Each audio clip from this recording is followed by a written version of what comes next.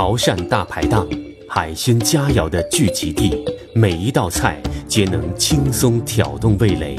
挑选新鲜大墨斗，加以调料提味，再用葱姜蒜等腌制入味。入锅油炸后，切成片状，淋上秘制酱汁，即成红烧墨斗。